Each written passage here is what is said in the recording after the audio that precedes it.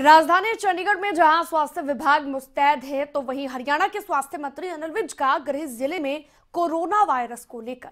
विभाग कितना मुस्तैद है और स्वास्थ्य मंत्री ने स्वास्थ्य विभाग को सावधान रहने की नसीहत दी है। पूरा मामला जानिए रिपोर्ट में। घातक कोरोना वायरस को लेकर हरियाणा में स्वास्थ्य विभाग अलर्ट पर है। वायरस की हरियाणा में दस्तक की आशंका के चलते अब सूबे के सभी नागरिक अस्पतालों में आइसोलेशन वार्ड स्थापित किए गए हैं। वहीं प्रदेश के स्वास्थ्य मंत्री अनिल विज के गृह ज़िले में प्रशासन कितना मुस्तैद है, ये जानने का प्रयास किया है हमारे संवाददाता ने। चीन से आए घातक कोरोना वायरस को लेकर प्रदेश के स्वास्थ्य विभाग ने किस तरह की तैयारी की है, इसको लेकर हम पहुँचे हैं अंबाला के नागरिक अस्पताल में। हम अंबाला के इस नागरिक अस्पताल में रियलिटी चेक करेंगे कि आखिर प्रदेश के स्वास्थ्य विभाग ने इस घातक वायरस को लेकर किस तरह की तैयारियाँ की हैं। अम्बाला शहर के नागरिक अस्पताल में आइसोलेशन वार्ड स्थापित किया गया है। वहीं प्रशासन भी मुस्तैद नज़र आया है।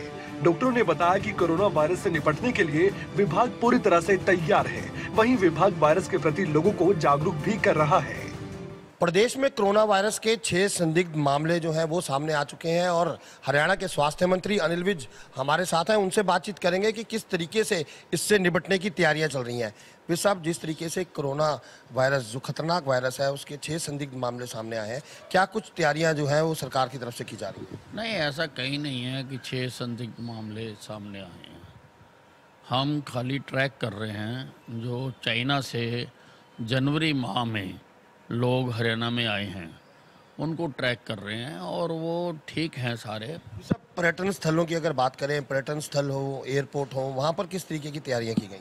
नहीं हमारे हरियाणा में कोई एयरपोर्ट नहीं है अंतर्राष्ट्रीय एयरपोर्ट कोई नहीं है। तो जो गुड़गांव का है पालम का एयरपोर्ट है वो दिल्ली के अंतर्गत आता है लेकिन हमने कहा है कि उनसे भी अपना संपर्क रखा जाए अगर वो कोई अग्रिम जानकारी देते हैं तो उसके ऊपर कार्रवाई की जाए सब इससे निपटने के लिए दवाओं के लिए और चिकित्सकों के लिए चिकित्सकों के लिए क्या कुछ विशेष प्रबंध? नहीं इसकी कोई स्पेसिफिक मेडिसिन नहीं है।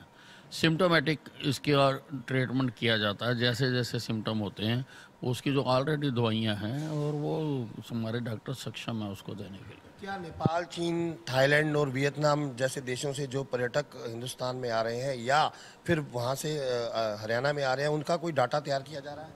नहीं हमने आपको बताया कि जो चाइना से आ रहे हैं उनका तो डाटा तैयार किया जा रहा है। बाकी माइग्रेटरी लोग और बहुत होते हैं सबको तो तैयार नहीं किया जा सकता। तो ये थे हमारे साथ हरियाणा के स्वास्थ्य मंत्री जो हमें बता रहे थे कि कोरोना वायरस जैसे घातक वायरस से निपटने के लिए प्रदेश सरकार की तैयारियाँ जो हैं पुख्ता है और बकायदा इसके लिए आइसोलेशन वार्ड से लेकर अन्य चीज़ों पर सरकार काम कर रही है। वहीं इस मामले को लेकर हमने सूबे के स्वास्थ्य मंत्री अनिल विज से बातचीत की। उन्होंने बताया कि कोरोना वायरस को लेकर प्रदेश में अलर्ट पहले से ही जारी कर दिया गया है। खास तौर पर जनवरी के महीने में चाइना से आने वाले लोगों पर नज़र रखी जा रही है।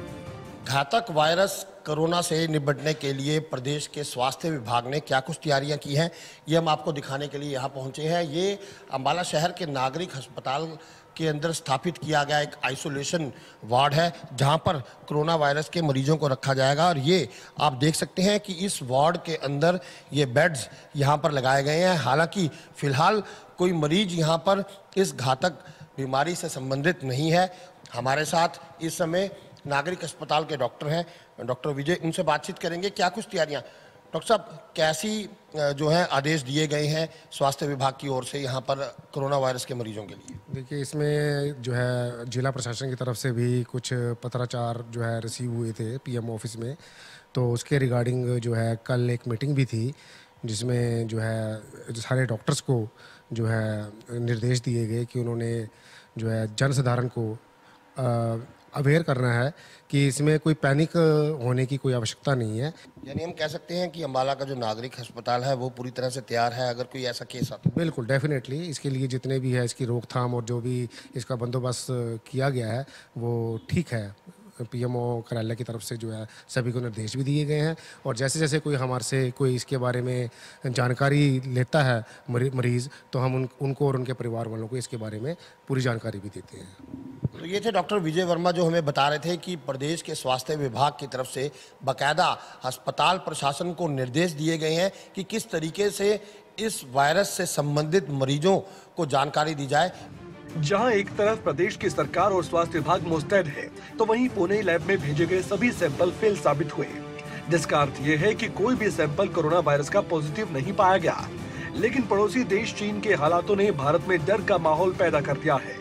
सरकार भी जनता में अफरा तफरी न फैले, इसी के लिए जागरूकता फैलाने का प्रयास कर रही है। ब्यूरो रिपोर्ट, खबरें अभी तक।